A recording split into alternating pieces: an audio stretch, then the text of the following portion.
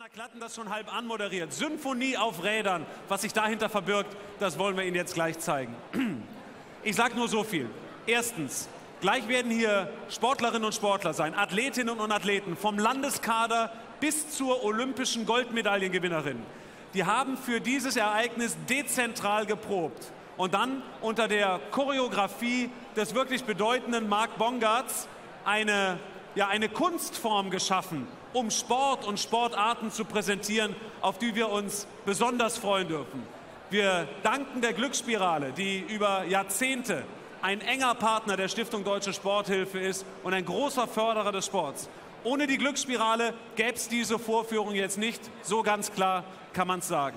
Freuen Sie sich auf, das habe ich mir aufgeschrieben, 79 Medaillen bei Weltmeisterschaften, davon 45 goldene, 13 Medaillen bei Europameisterschaften, eine bei den Paralympics und 74 deutsche Meistertitel. Das haben die Sportlerinnen und Sportler errungen, die jetzt zu Ihnen kommen. Meine Damen und Herren, eine Symphonie auf Rädern.